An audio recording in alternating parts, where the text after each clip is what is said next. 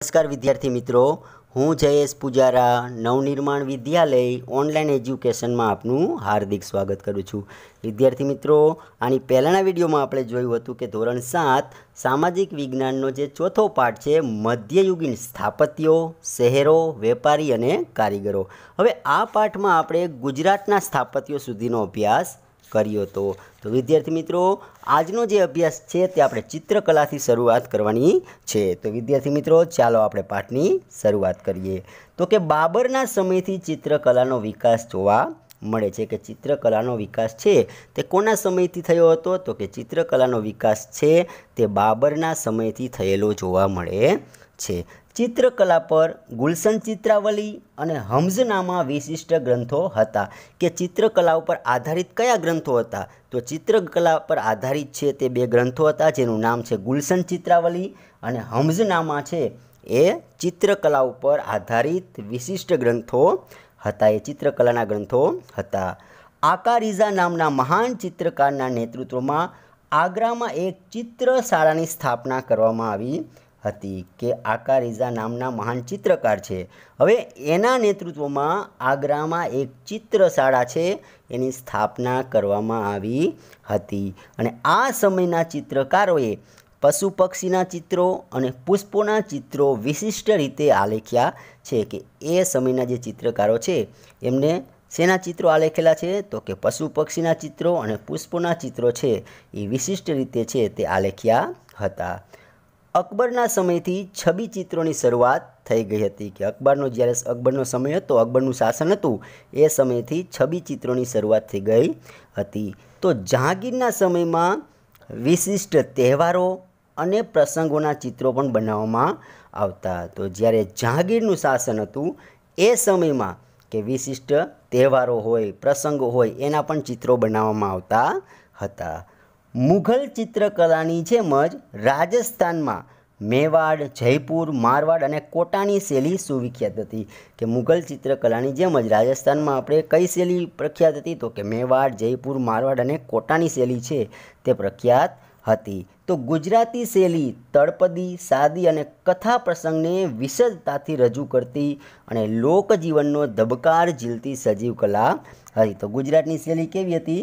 તો કે તળપદી, સાદી અને કથા પ્રસંગને વિશદતાથી વિશદતાથી એટલે કે વેદનાથી રજૂ કરતી અને લોકજીવનનો ધબકાર ઝીલતી સજીવ કલા હતી કે જાણે જીવંત કલા હોય તેવી કલા હતી. હવે આપણે જોઈએ સંગીત.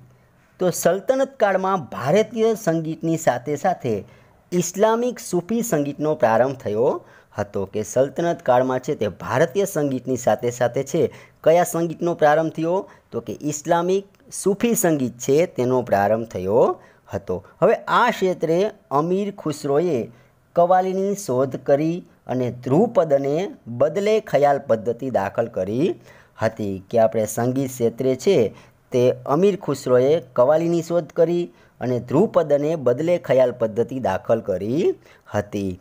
દેવગીરીના સારંગ દેવે સંગીત રત્નાકર અને ગુજરાતમાં હરિપાલ દેવે સંગીત સુધારક નામનો ગ્રંથ લખ્યો હતો કે આ સંગીત આધારિત બે ગ્રંથ છે. એમાં દેવગીરીના સારંગ દેવે છે તે સંગીત રત્નાકર નામનો ગ્રંથ લખ્યો હતો. ત્યાર પછી ગુજરાતમાં હરિપાલ દેવે છે તે સંગીત સુધારક નામનો ગ્રંથ લખ્યો હતો અને આ બંને ગ્રંથ છે તે સંગીત આધારિત ગ્રંથો છે. અકબરના સમયમાં તાનસેન શાસ્ત્રીય ગાન સાથે છે. તે સંકળાયેલા હતા કે અકબરના સમયમાં તાનસેન તાનસેન છે, તે શાસ્ત્રીય ગાન સાથે છે, તે સંકળાયેલા હતા. અને સૌથી મહાન કલાકાર પણ હતા કે એ સમયના એ સૌથી શું હતા? મહાન કલાકાર પણ હતા. હવે આપણે જોઈએ સાહિત્ય. તો મધ્યયુગમાં ઘણા બધા સાહિત્યકારોએ છે તે જુદા જુદા વિષયોમાં ખેડાણ કરીને નોંધપાત્ર ગ્રંથોનું સર્જન કર્યું હતું કે મધ્યયુગમાં ઘણા બધા સાહિત્યકારો છે, એમણે જુદા જુદા વિષયોનું શું કર્યું? ખેડાણ કર્યું, એટલે કે જુદા જુદા વિષયનો અભ્યાસ કર્યો. અને ત્યાર પછી નોંધપાત્ર ગ્રંથ છે, તેનું સર્જન કર્યું, એટલે કે નોંધી શકાય તેવા ગ્રંથોનું એ સમયે સર્જન કર્યું હતું. હવે કેટલાક ગ્રંથોની માહિતી આપણને નીચે મુજબ આપેલી છે કે જેમાંના કેટલાક ગ્રંથો છે, તેની માહિતી આપણે નીચે મુજબ આપેલી છે કે હવે આપણે જોઈએ તો કયો ગ્રંથ કોણે રચેલો છે તે આપણે જોઈએ. તો સિધેમ શબ્દાનુશાસન નામનો જે ગ્રંથ છે, હવે એની રચના છે તે હેમચંદ્રાચાર્યએ કરેલી છે. ત્યાર પછી ગીત ગોવિંદમ નામનો જે ગ્રંથ છે, તેની રચના જયદેવે કરેલી છે. હિતોપદેશ નામનો ગ્રંથ છે, તેની રચના નારાયણે કરેલી છે. સિદ્ધાંત શિરોમણી અને લીલાવતી નામનો જે ગ્રંથ છે, તેની રચના ભાસ્કરાચાર્યએ કરેલી છે. ત્યાર પછી પૃથ્વીરાજ રાસો નામનો જે ગ્રંથ છે, તેની રચના ચંદબરદાએ કરેલી છે. ત્યાર પછી તુખલકનામા અને તારીખે દિલ્હી નામનો જે ગ્રંથ છે, તેની રચના અમીર ખુસરોએ કરેલી છે. કિતાબુલ હિન્દ રહેલા. હવે એની રચના છે તે ઇબ્ન બતુતાએ કરેલી છે. કાંડે પ્રબંધ. તેની રચના પદ્મનાભે કરેલી છે. પછી પદ્માવત નામનો જે ગ્રંથ છે, તેની રચના મોહમ્મદ જાયસીએ કરેલી છે. તો આ ગ્રંથો આપણે જોયા અને સામે એ ગ્રંથની આપણે રચના કરનાર હતા તે આપણે જોયું. હવે આપણે જોઈશું કે લોકનૃત્યો અને હસ્તકલા. તો ગુજરાત તેની લોક સંસ્કૃતિ લોકનૃત્યો તથા ભરત ગૂંથણ જેવી હસ્તકલા કારીગરી માટે સમગ્ર વિશ્વમાં વિખ્યાત થયું છે કે ગુજરાત છે તેની લોક સંસ્કૃતિ અને લોકનૃત્યો તથા ભરત ગૂંથણ જેવી હસ્તકલા કારીગરી માટે સમગ્ર વિશ્વમાં વિખ્યાત થયું હતું. એટલે કે પ્રખ્યાત થયું હતું કે ગુજરાત છે એની લોક સંસ્કૃતિ છે લોકનૃત્યો છે, પછી ભરત ગૂંથણ છે ગુજરાતના, પછી ગુજરાતની હસ્તકલા કારીગરી છે. આના માટે છે તે ગુજરાત આખા વિશ્વમાં શું થયું હતું? પ્રખ્યાત થયું હતું. હવે જેમાં ભવાઈ નાટકો જેવા પ્રકારનો પણ સમાવેશ થાય છે.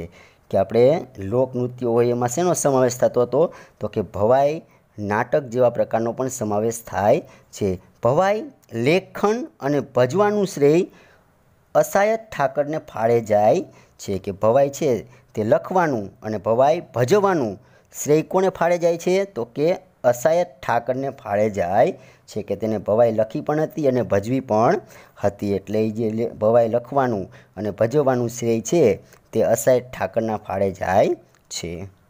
ઝાલાવાડ વિસ્તારમાં પશુપાલકો એક વિશિષ્ટ પ્રકારનો રાસ રમે છે જેને હુડો કહેવામાં આવે છે. કે ઝાલાવાડ વિસ્તારમાં છે.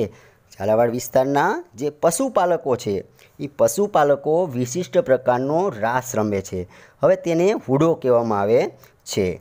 અને તરણે તરણેતરના મેળામાં છે તે હુડો રાસને જોવા દેશ વિદેશના લોકો ગુજરાત આવે છે. અને તરણેતરના મેળામાં છે તે આ હુડો રાસ જોવા છે તે દેશ વિદેશના લોકો છે તે ગુજરાતમાં આવે છે. હવે ત્યાર પછી આપણે જોઈએ કે ગુજરાતમાં નવરાત્રિ ગરબા ઉત્સવ મહત્ત્વના છે. તો કે ગુજરાતમાં છે તે નવરાત્રિ દરમિયાન જે ગરબા ઉત્સવ જે ઉજવાય છે તે મહત્ત્વના છે.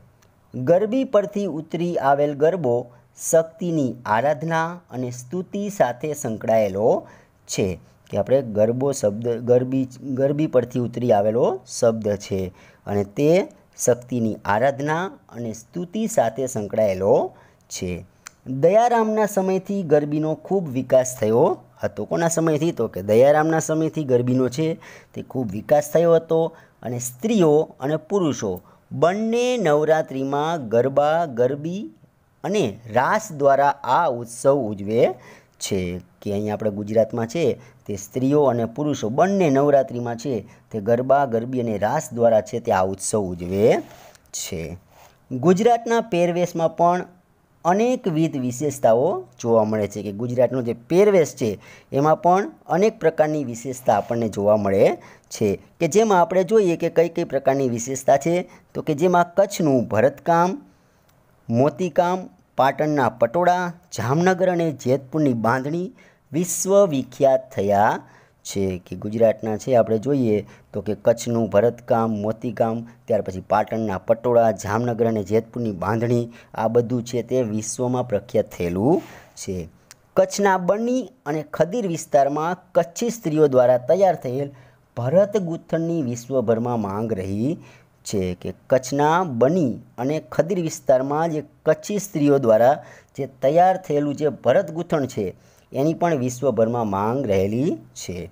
એ જ રીતે પાટણમાં છેક અગિયારમી બારમી સદીથી વિશિષ્ટ વણાટકામ સાથે સંકળાયેલ પટોળા પણ વિશ્વ વિશ્વ વિખ્યાત થયેલા છે. અને એવી જ રીતે છે તે પાટણમાં છેક અગિયારમીથી બારમી સદી દરમિયાન છે તે વિશિષ્ટ પ્રકારનું જે વણ, વણાટકામ સાથે જે સંકળાયેલા જે પટોળા હતા એ પણ વિશ્વ વિખ્યાત થયેલા છે. હવે આપણે જોઈએ શહેરીકરણ. તો કે આ સમય શહેરોના પુનઃ ઉત્થાન અને વિકાસનો હતો. કે આ સમય શેનો હતો? તો કે શહેરોના પુનઃ ઉત્થાન અને વિકાસનો હતો. શહેરોને વિકસાવવાનો હતો. વિકસાવવાનો સમય હતો. શહેરોને છે તે ફરીથી પુનઃ ઉત્થાન કરવાનો સમય હતો. ગુપ્તકાળના શહેરોની જગ્યાએ નવીન શહેરોનો ઉદય થયો. કે ગુપ્તકાળના શહેરોની જગ્યાએ હવે નવીન શહેરો છે તેનો ઉદય થયો. કે નવા શહેરો છે એનો પ્રારંભ થયો. રાજપૂત યુગની રાજધાનીઓ મોટે ભાગે શહેરોમાં પલટાતી ગઈ કે રાજપૂત યુગની જે રાજધાનીઓ છે એ શેમાં પલટાતી ગઈ તો કે શહેરોમાં પલટાતી ગઈ. રાજધાનીના શું થતા ગયા? શહેરો થતા ગયા. શહેરોમાં પલટાતી ગઈ. ગુજરાતમાં અણહિલવાડ, પાટણ, ચાંપાનેર, અમદાવાદ, સુરત, ખંભાતનો સવિશેષ વિકાસ થયો હતો કે ગુજરાતમાં કયા કયા શહેરોનો વિકાસ થયો હતો? તો કે અણહિલવાડ, પાટણ ચાંપાનેર અમદાવાદ, સુરત અને ખંભાત છે એનો વિશેષ છે તે વિકાસ થયો હતો. શહેરીકરણનું ચરમબિંદુ આપણને દિલ્હીમાં જોવા મળે છે કે શહેરીકરણનું ચરમબિંદુ છે તે આપણને ક્યાં જોવા મળે છે? તો કે દિલ્હીમાં જોવા મળે છે. રાજપૂત કાળથી મુઘલ કાળ સુધી વિકસતું ગયું અને જહાંગીર અને સાંજાના સમય દરમિયાન દિલ્હી રાજધાની અને વેપાર વાણિજ્યનું મોટું મથક હતું કે રાજપૂત કાળમાં દિલ્હી છે એ મુઘલ કાળ સુધી વિકસતું ગયું. રાજપૂત કાળથી માંડીને મુઘલ કાળ સુધી આપણે જોઈએ તો દિલ્હીનો શું થયો? તો કે દિલ્હી છે એનો વિકાસ થયો, વિકસતું ગયું. અને જહાંગીરના સમયમાં અને શાહજહાંના સમયમાં છે એ દરમિયાન દિલ્હી રાજધાની અને વેપાર વાણિજ્યનું પણ મોટું મથક બની ગયું હતું. શાહજહાએ લાલ કિલ્લાની રચના કરી અને તેને વિશાળ બનાવ્યું. હતું કે શાહજહાએ છે તે લાલ કિલ્લાની રચના કરી અને તેને વિશાળ બનાવ્યું હતું દિલ્હીને. હવે આ સમયના લાહોર, જોનપુર અને ઢાકા વેપારી માર્ગ પર આવતા હોવાથી તેનો શહેરો તરીકે વિકાસ થયો હતો કે એ સમયના જે લાહોર છે લાહોર છે, જોનપુર અને ઢાકા આ બધા છે તે વેપારી માર્ગ પર આવતા હોવાથી તેનો શહેરો તરીકે શું કરવામાં આવ્યો? વિકાસ કરવામાં આવ્યો હતો. શીખ ધર્મને કારણે અમૃતસર પણ અગત્યનું શહેરી કેન્દ્ર હતું કે શીખ ધર્મને કારણે છે તે અમૃતસર પણ અગત્યનું શહેરી કેન્દ્ર બન્યું હતું. દક્ષિણ ભારતમાં દેવગીરી એટલે કે દોલતાબાદ, ઉત્તર અને દક્ષિણને જોડતું સમૃદ્ધ શહેરી કેન્દ્ર હતું. મરાઠા સામ્રાજ્યમાં પુણે, મરાઠા સામ્રાજ્ય હતું. તેમાં પુણે સતારા ગ્વાલિયર અને વડોદરા જેવા શહેરો છે. એનો વિકાસ થયો હતો. તો યુરોપિયન કંપનીઓના આગમનને કારણે કે યુરોપિયન કંપની છે, એમના આગમનને કારણે દીવ, દમણ, ગોવા, મુંબઈ, મદ્રાસ, પુડુચેરી, કોચી, ચંદ્રનગર અને સુરત શહેરી કેન્દ્રો તરીકે વિશિષ્ટ વિકાસ થયો હતો. વિજયનગરની રાજધાની હતી હમ્પી. કે વિજયનગરની રાજધાની કઈ રહી હતી? તો કે હમ્પી હતું. હમ્પીમાં આવેલા વિદેશી મુસાફરોએ હમ્પીના વિશિષ્ટ હુનર ઉદ્યોગની માહિતી આપી છે કે હમ્પીમાં આવેલા જે વિદેશી મુસાફરો છે, તેને હમ્પીના, હમ્પીમાં જે વિશિષ્ટ વિશિષ્ટ પ્રકારના હુનર ઉદ્યોગો હતા હમ્પીમાં, તેની માહિતી આપણને આપેલી છે. કોને? તો કે હમ્પીમાં આવેલા વિદેશી મુસાફરોએ. વિજયનગરથી સુતરાવ કાપડ, રેશમી કાપડ અને મસાલા સહિતની ચીજ વસ્તુઓ યુરોપ સુધી જતી હતી. કે અહીંયા વિજયનગરથી સુતરાવ કાપડ છે, રેશમી કાપડ છે અને મસાલા સહિતની જે ચીજ વસ્તુઓ છે તે યુરોપ જતી હતી. હમ્પીમાંથી ત્રણ પ્રકારના સુવર્ણ સિક્કાઓ મળી આવ્યા છે. સુવર્ણ એટલે કે સોનાના સિક્કા. કે હમ્પીમાંથી છે તે ત્રણ પ્રકારના છે તે આપણને સોનાના સિક્કાઓ મળી આવ્યા છે. અને જે દર્શાવે છે કે હમ્પી હુનર કલાનું અને વેપાર વાણિજ્યનું મોટું કેન્દ્ર હતું. કે સોના સિક્કો સિક્કા છે એ શું દર્શાવે છે? તો કે હમ્પી છે, તે હુનર કલાનું અને વેપાર વાણિજ્યનું મોટું કેન્દ્ર હતું એવું દર્શાવે છે. ગુજરાતના ભરૂચ અને ખંભાત બંદર પછી ખાસ કરીને સોળમી સદીમાં સુરત ભારતનું મહત્ત્વનું વ્યાપારી, વ્યાપારિક કેન્દ્ર હતું કે ગુજરાતના ભરૂચ અને ખંભાત બંદર પછી. ખાસ કરીને સોળમી સદીમાં આપણે જોઈએ તો સુરત છે તે ભારતનું મહત્ત્વનું વ્યાપારિક કેન્દ્ર હતું. વીરજી વોરા અને ગોપી મલિક જેવા વિશ્વવિખ્યાત સોદાગરો સુરતમાં રહેતા કે વીરજી વોરા અને ગોપી મલિક જેવા જે વિશ્વ પ્રખ્યાત જે સોદાગરો સોદાગરો છે, એ ક્યાં રહેતા હતા? તો કે સુરતમાં રહેતા હતા. સુરતમાં સત્તરમી સદીમાં મસલિન સુતરાવ કાપડ અને જહાજ બનાવવાના ઉદ્યોગો વિકસ્યા હતા કે સુરતમાં છે તે સત્તરમી સદીમાં મસલિન સુતરાવ કાપડ અને જહાજ બનાવવાના ઉદ્યોગનો શું થયો? વિકાસ થયો. જરી ભરત કાપડનો વિશ્વભરમાં સૌથી મોટો વેપાર સુરતથી થતો હતો કે એ સમયે જરી ભરત જે કાપડ છે કે જરી જરી ભરવાનું જે કાપડ આવે એ વિશ્વભરમાં સૌથી મોટો વેપાર એનો ક્યાંથી થતો હતો? તો કે સુરતથી થતો હતો. સુરત એક આંતરરાષ્ટ્રીય બંદર હોવાથી ભારતીય અને યુરોપિયન વેપારીઓના અનેક વેપારી સંસ્થાનો અહીં જોવા મળ્યા હતા. કે અહીંયા સુરત છે તે એક આંતરરાષ્ટ્રીય બંદર હોવાથી ભારતીય અને યુરોપિયન વેપારીઓના અનેક વેપારી સંસ્થાનો છે તે અહીં આપણને જોવા મળ્યા હતા. સુરતમાં મરી મસાલા સુતરાવ અને રેશમી કાપડ તથા ગળીના મોટા ગોદામો પણ હતા કે સુરતમાં છે તે મરી મસાલાનું ગોદામ સુતરાવ કાપડ, પછી રેશમી કાપડ અને ગળી એના શું હતા? ગોદામો આવેલા હતા.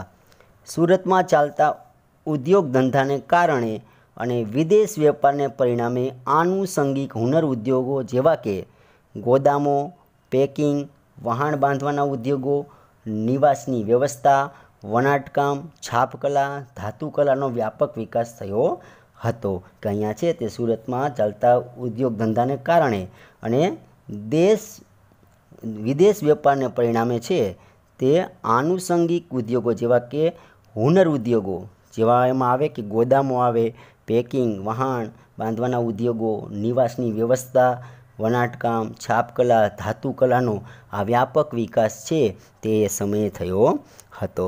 તો વિદ્યાર્થી મિત્રો, આની સાથે સાથે જ આપણો પાઠ છે તે આ પૂરો થાય છે. ધન્યવાદ.